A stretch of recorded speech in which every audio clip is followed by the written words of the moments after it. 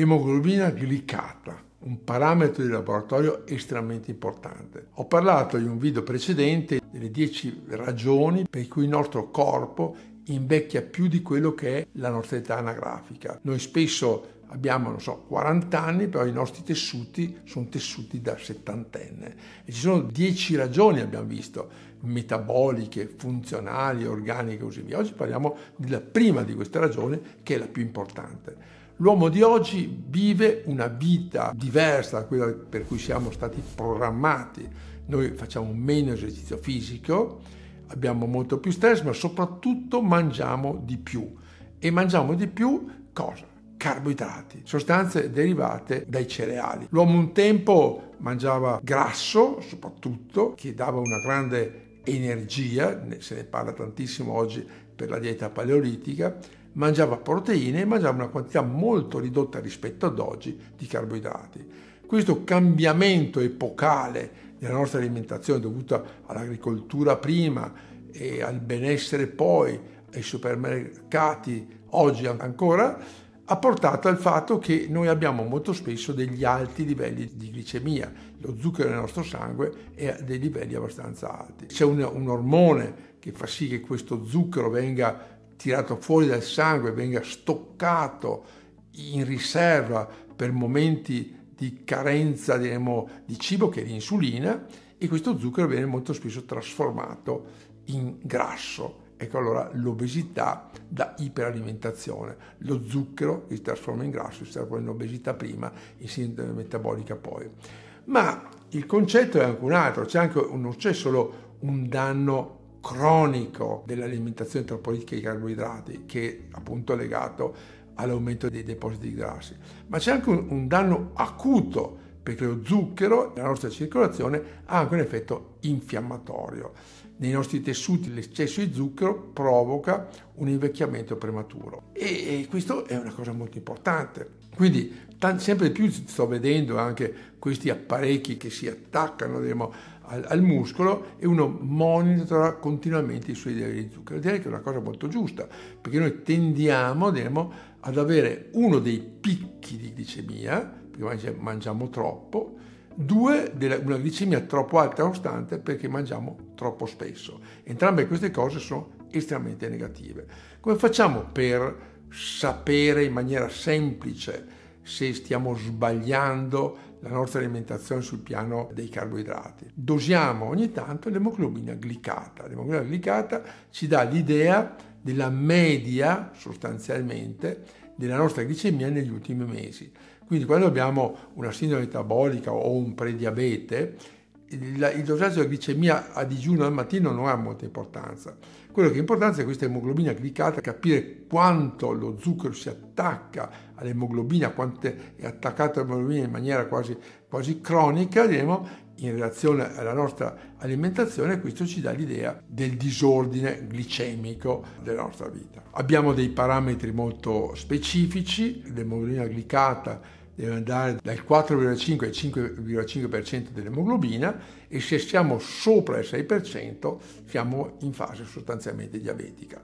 Quindi dobbiamo stare molto molto attenti perché il prediabete si cura molto bene, il diabete si cura con grandi difficoltà. Quindi questo parametro viene glicata è importante non solo perché più è nel range, più è verso il 4,5 o anche leggermente meno, più la nostra età biologica è buona, ma anche perché se abbiamo molto ricercato livello entriamo nella fase prediabetica prima e diabetica poi. Ci sono oggi dei indici, dei parametri, dei, dei, calcoli molto semplici che possiamo fare anche a livello noi casalingo. Se noi mettiamo per esempio la glicemia, la moltiplichiamo per i livelli dell'insulina e la dividiamo per un numero fisso che è 22.5, abbiamo l'indice della resistenza insulinica.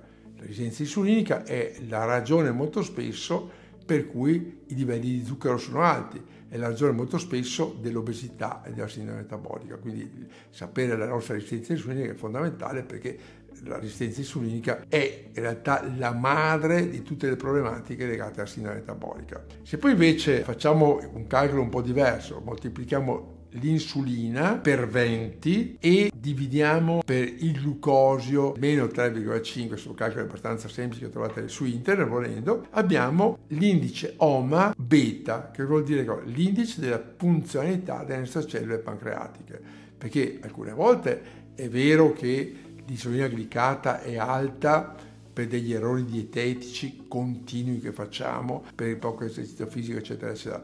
Altre volte però abbiamo, magari come fattore genetico e costituzionale, una carenza di funzione delle nostre cellule beta pancreatiche che producono insulina. Quindi dobbiamo valutare questi, questi due fattori molto molto importanti. Quindi è chiaro che ereditarietà, la costituzione è molto importante, l'età, l'alimentazione sbagliata, il danno pancreatico, lo stile di vita sono tutte situazioni che tendono ad aumentare l'emoglobina glicata e se noi troviamo l'emoglobina glicata alta dobbiamo agire su queste affinché poi il nostro calcolo dell'età biologica tenda a darci un'età biologica minore della nostra età anagrafica. E cosa possiamo fare dal punto di vista dell'integrazione? Abbiamo almeno 4-5 possibilità. Abbiamo innanzitutto la cannella. Io molto spesso la cannella la uso assieme al cromo, per esempio, ed è un modo molto molto interessante per lavorare sulla resistenza insulinica, soprattutto se c'è alto il livello di resistenza insulinica. Poi abbiamo il fieno greco. Il fieno greco è un'altra sostanza molto importante per aumentare la sensibilità insulinica. Poi abbiamo la momordica, che è questa cucurbitacea, questo melone amaro, che è molto importante anche in coloro che hanno un problema di prediabete o di diabete pur essendo magri. Io uso molto spesso la cannella e il cromo nel prediabetico grasso e la momordica nel prediabetico magro invece. Poi il fieno greco è molto importante, il gelso è anche una pianta molto interessante per questo, ma soprattutto soprattutto la molecola che mi piace di tutti è la berberina. La berberina agisce in maniera molto interessante, impedisce la completa digestione dei polisaccaridi, dei disaccaridi e così via a livello intestinale, così assorbiamo meno lo zucchero. Ha un effetto molto importante sulla flora batterica intestinale, quindi il nostro microbiota condiziona l'assorbimento di zucchero e quindi l'aumento della glicemia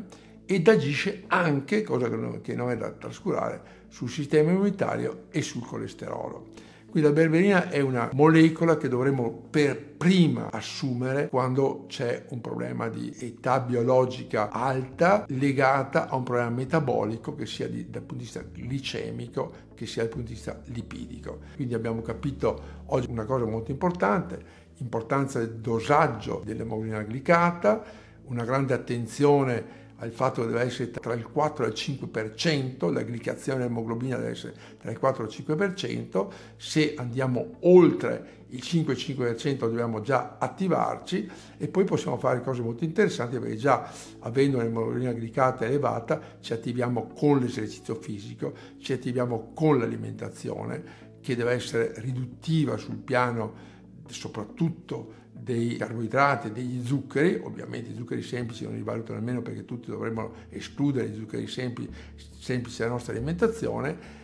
E inserire invece e cercare di fare un'alimentazione che non vada a stimolare l'insulina, perché più noi stimoliamo l'insulina, più poi diventiamo insensibili all'insulina, più diventiamo insensibili all'insulina, maggiore poi è la possibilità di avere emoglobina glicata alta, maggiore possibilità di avere tendenza diabetica. Ho trattato oggi solo uno dei, dei dieci punti che condizionano l'aumento della nostra età biologica tissutale.